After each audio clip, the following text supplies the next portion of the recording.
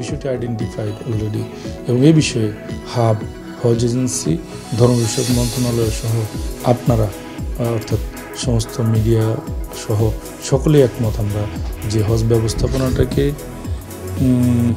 অনেকটা প্রশ্নবিদ্ধ করছে এই মধ্যসত্ত্বভোগীরা মধ্যসত্ত্বভোগীদেরকে যাতে উৎপাদন করা যায় মধ্যসত্ত্বভোগীদের থেকে যাতে হজ ব্যবস্থাপনাকে মুক্ত রাখা যায় এই বিষয়ে এখন যুগপথভাবে ধর্ম বিষয়ক মন্ত্রণালয় এবং আমরা কাজ করছি, আমরা প্রচার প্রচারণা চালাচ্ছি, পাশাপাশি এজেন্সির অ্যাকাউন্টে যাতে পুরো টাকাটা আসে। এ বিষয়ে আমরা এবার বিভিন্ন ধরনের কৌশল নিয়েছি। দেখুন এত বড় একটি বিশাল যজ্ঞের মাঝে ছোটোখাটো কিছু বিচ্ছিন্ন ঘটনা থাকতে পারে। হ্যাঁ আপনি সঠিক বলেছেন। কিন্তু এত বড় একটি যজ্ঞের মাঝে যেখানে এক লক্ষ তিরিশ হাজার হজযাত্রী আমরা গত বছর নিয়ে গিয়েছি এবং তার বিপরীতে যে অভিযোগ সেখানে আমরা দেখেছি কয়েকশো অর্থাৎ ফিউ থ্রি ফোর হান্ড্রেড হাজি ওনারা অভিযোগ করেছেন। তাহলে এক লক্ষ তেইশ হাজার হজযাত্রীর মধ্যে যদি চারশো হজযাত্রী অভিযোগ করেন, আমি চাই যে একজন হজযাত্রীও যাতে অভিযোগ না করেন। সকলেই যাতে কমফোর্ট, স্বাচ্ছন্দ্যে হজ প্রতিপালন করতে পারেন। কিন্তু তথাপিও তারপরেও যদি এক লক্ষ তিরিশ হাজার থেকে চারশো জন হজযাত্রী অভিযোগ করেন, অনেক ক্ষেত্রে কিছু কিছু অভিযোগ মান অভিমানের হয়, কিছু কিছু অভিযোগ হয়তো অতৃপ্তির হয়। সার্ভিসের ক্ষেত্রে কিছুটা অতৃপ্ততা থাকে। এটা খুব যৌক্তিক আমি মনে করি। কিন্তু যারা বড় ক্রাইমের সাথে সংশ্লিষ্ট, অবশ্যই সেগুলিকে কোনোভাবেই হাত, তাদেরকে কোনো স্পেয়ার করবে না। এবং আমি দেখছি যে ধর্ম বিষয়ক মন্ত্রণালয় তা করছে না। গত বছর বিমান ভাড়া নিয়ে অনেকে হয়েছে, বিমান ভাড়া। এবার বিমান ভাড়া নিশ্চিত করার জন্য কি ব্যাপার দেখুন হ্যাঁ, আপনি সঠিক বলেছেন। গত বছর যে অনেকের হজযাত্রী ভিসা হয়েছে কিন্তু ওনারা টিকিটের জন্য যেতে পারেনি এরকম কিছু পাওয়া গেছে। যদিও বিষয়টি অনেক প্র- প্রকট ছিল বিষয়টি কিন্তু তথাপিও ফাইনালি সকলের প্রচেষ্টায় আমার নিজেরও ব্যক্তিগত প্রচেষ্টায় এটি অনেকাংশে আমরা সমাধান করতে পেরেছি।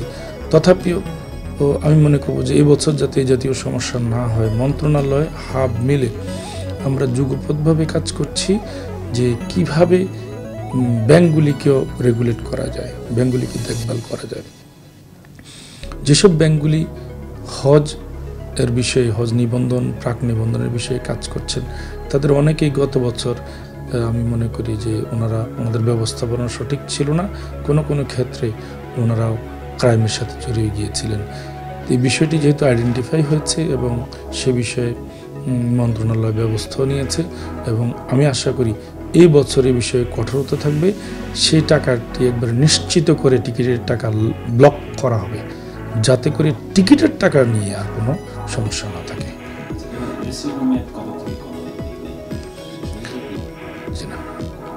রেজিস্ট্রেশন সরি রেজিস্ট্রেশন শুরু হয়েছে সরকারি ব্যবস্থাপনায় পহেলা মার্চ এবং এটা চলেছে এগারোই মার্চ পর্যন্ত।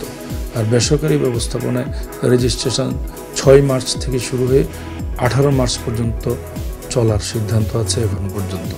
সেখানে রেজিস্ট্রেশন কত টাকা আগে বলেছেন যে বিমান ভাড়া সেখানে আপনার রেখে দেওয়া একটি সেটা সম্ভব হ্যাঁ বিমান ভাড়াটি একেবারে নিশ্চিত করেই এবার রেজিস্ট্রেশন করা হচ্ছে এবং বিমান ভাড়ার টাকা ব্লক থাকবে সম্পূর্ণভাবে। এক্ষেত্রে কোনো রকমের ছাড় দেওয়ার কোনো সুযোগ নেই। কত সিরিয়াল আমরা দেখি যে যাদের সিরিয়াল আমাদের ফোটার মধ্যে পড়ে না তাদেরকেও কিন্তু টাকা নিয়ে নেওয়া হয় শেষ পর্যন্ত তারা হাজার এবার একটু হাতিদের উদ্দেশ্যে কিছু কত সিরিয়াল পড়তে বা নর্মাল যেতে পারবে রিপ্লেসমেন্ট ছাড়া নর্মালি এবার তিন লক্ষ বান্ন হাজার পর্যন্ত যাদের সিরিয়াল নাম্বার আছে, তারাই যেতে পারবে। এর বাইরে যারা আছেন, তাদের এখনও পর্যন্ত আপাতত কোনো সম্ভাবনা দেখা যাচ্ছে না। পরবর্তীতে যদি খালি হয় অর্থাৎ তিন লক্ষ বান্ন হাজারের ভিতরে কেউ যদি রেজিস্ট্রেশন করতে বিরত থাকেন, তখনই ওনাকে পুনরায় ডাকা হবে। এক্ষেত্রে হজযাত্রীগণ যেটা খেয়াল রাখবেন, ওনাকে যদি বলা হয় যে ওনাকেও নিবন্ধন করা হবে, তাহলে উনি ওনার মোবাইলে যদি পিএডি নাম্বার পান, তাহলে উনি নিশ্চিত হবেন উনি এবছর যাচ্ছেন। এই জন্য আমি মনে করি হজযাত্রীদেরও এত বড় একটি বিশাল কাজে একটু সময় দেওয়া প্রয়োজন, ওনারা একটু সচেতন হওয়া প্রয়োজন। একটু সময় দিয়ে আমি মনে করি হজযাত্রীগণ এজেন্সির সাথে সরাসরি যোগাযোগ করা উচিত মধ্যসত্ত্বভোগীদেরকে অ্যাভয়েড করা উচিত মানি রিসিট নেওয়া উচিত ব্যাংকে জমা দিলে ব্যাংকের রিসিট সংরক্ষণ করা উচিত, অথবা এজেন্সির অফিসে জমা দিলে মানি রিসিট নিয়ে সেই মানি রিসিট সংরক্ষণ করা উচিত। পাশাপাশি ওনারা, ওনাদের পিএডি নাম্বার এটা ওনারা যদি প্রাপ্ত হন, তাহলে আমি বলব যে ওনারা নিশ্চিত হচ্ছেন এবছর যাচ্ছেন। পিএডি নাম্বার প্রাপ্তি ব্যতীত ওনাকে কেউ যদি বলে, ফাইনালি যে আপনার নিবন্ধন হয়ে গেছে, এটা সম্পূর্ণ ও এটা সঠিক নয়। কারণ নিবন্ধন হওয়া মানেই উনি একটি পিএডি নাম্বার পাবে। পিএডি নম্বর প্রাপ্তি মানে উনি যেতে পারবেন।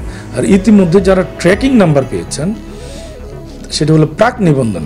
ট্র্যাকিং নাম্বার মানে কিন্তু উনি যাচ্ছেন, এটা নিশ্চিত নয়, অর্থাৎ উনি মাত্র নথিবদ্ধ হলেন। কিন্তু উনি দু সালে হজে যাচ্ছেন এটার নিশ্চিতকর বিষয় হলো পিএডি নাম্বার